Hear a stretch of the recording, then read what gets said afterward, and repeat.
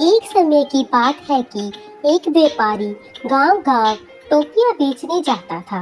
एक बार जब वह रंग बिरंगी टोपियाँ लेकर दूसरे गाँव बेचने जा रहा था, रास्ते में बहुत थक गया। उसने एक बरगद के पेड़ के नीचे बैठकर आराम करने का सोचा। उसने टोकरी नीचे रख दी और वो गहरी नींद में सो गया। जिस पेड़ के नीचे व्यापारी सोया था, उसी पर बहुत से बंदर रहते थे। व्यापारी के सोते ही बंदरों ने उसकी टोकरी पर हमला बोल दिया। और टोकरियों को उठा लिया। जब व्यापारी की नींद खुली तो खाली टोकरी देखकर उसके होश उड़ गए। उसकी सारी टोपियाँ गायब हो गई थी। फिर उसने ऊपर बंदरों को देखा तो उसे सब समझ आ गया। वह बहुत परेशान होकर कुछ सोचने लगा। सोचते हुए वह अपना सिर खुजलाने लगा। उसे ऐसा देखकर बंदर भी अपना सिर खुजलाने लगे।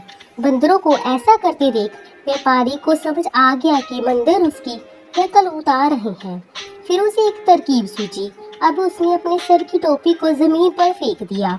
बंदरों ने व्यापारी की नकल उतारते हुए अपने सर की टोपियों को भी ज़मीन पर फेंक दिया। उसने जल्दी जल्दी सारी टोपियाँ इकट्ठी की और तुरंत उन्हें बेचने के लिए दूसरे गाँव की ओर चल दिया।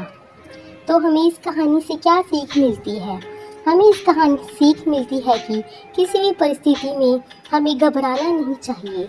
हमें हर हाल में समझदारी से काम लेना चाहिए।